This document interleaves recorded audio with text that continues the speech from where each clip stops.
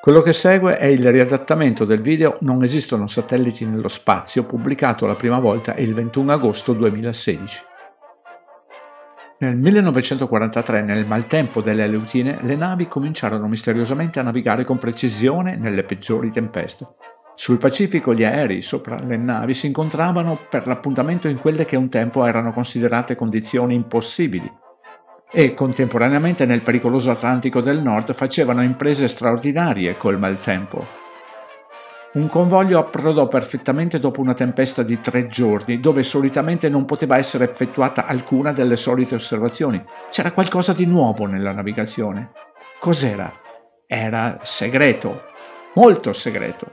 Una delle cose più preziose della guerra.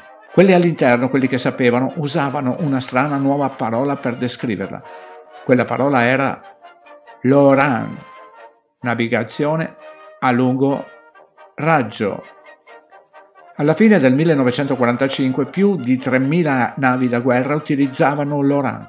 30.000 aerei che volavano verso obiettivi per la vita o per la morte trovavano la loro rotta con l'aiuto di LORAN. Il sistema LORAN divenne così vitale per le operazioni nel Pacifico che spesso veniva utilizzato per arrivare a terra durante i bersagliamenti.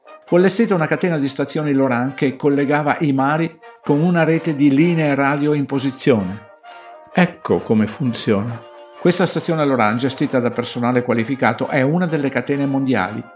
Queste stazioni inviano segnali di navigazione a lungo raggio fino a 1200 km di giorno e 2250 di notte, il timer Loran è così preciso che un orologio da tasca con la stessa precisione funzionerebbe da 5 a 10 anni senza perdere o guadagnare un solo secondo.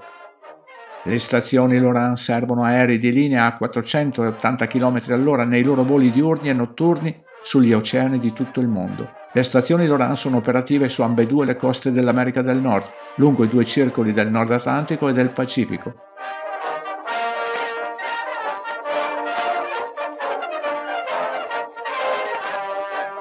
accurato, efficiente ed affidabile. Funziona di giorno e di notte. Per chi vuole approfondire sul fornitissimo indice alfabetico potete andare a vedere Faro di Capofrio 3 e Loran, Loran ancora, Loran da Evening Star del 20 gennaio 1946 e Loran da Evening Star del 20 gennaio 1946 in PDF. Loran, pollice nel vuoto, arco del lancio di razzo, analisi, vette, terra piatta.